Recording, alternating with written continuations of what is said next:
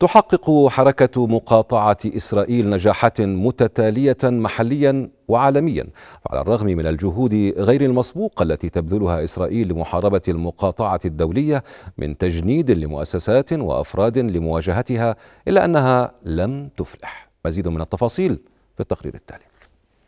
وصلت خسائر الاقتصاد الإسرائيلي والشركات المتواطئة مع حكومة الاحتلال إلى عشرات مليارات الدولارات.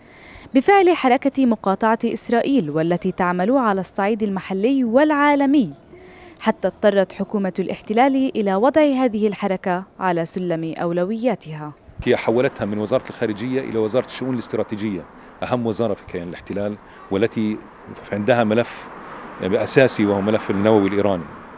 ورصدت لذلك ما يقارب ال 100 مليون و3000 خبير انترنت. هناك عدة مؤشرات تعكس حجم الخسائر التي تتعرض لها حكومة الاحتلال. المؤشر الأول عندما تحدث البنك الدولي عن انخفاض للصادرات الإسرائيلية السوق الفلسطيني بقيمة 24% وهذا رقم رقم رقم ضخم.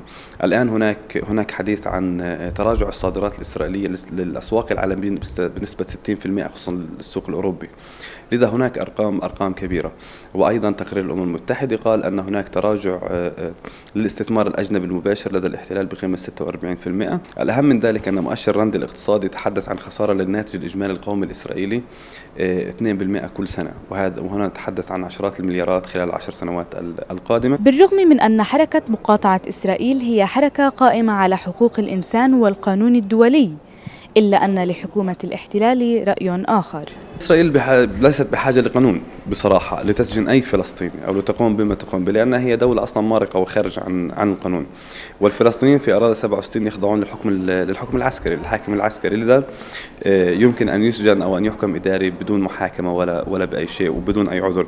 ونعم الآن أصبحت حركة المقاطعة بالنسبة لحكومة الاحتلال هي جرم ويمكن تجريم أي فلسطيني ينضم لها أو أو يعمل من من خلالها أما في الداخل في أراضي 48 الفلسطينيين حملة الهوية الإسرائيلية. هناك قرار من المحكمة العليا الإسرائيلية يتيح للحكومة ويتيح للمواطنين الإسرائيليين رفع دعاوى وشكاوى على الفلسطينيين أو على إسرائيليين أيضا.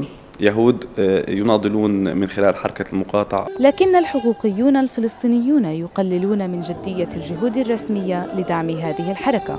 واحدة من أهم نقاط ضعفنا هي السلطة الوطنية الفلسطينية. السلطة حتى الآن ليس فقط لا تدعم المقاطعة ولكن بما تتصرف من عمليات من تطبيع وغيره هي عمليا ضد حركة المقاطعة وتحاول إسرائيل إفشال حركة المقاطعة من هذا الجانب لأنها فشلت على مستوى الدول بإيقاف حركة المقاطعة. آية الخطيب رؤيا.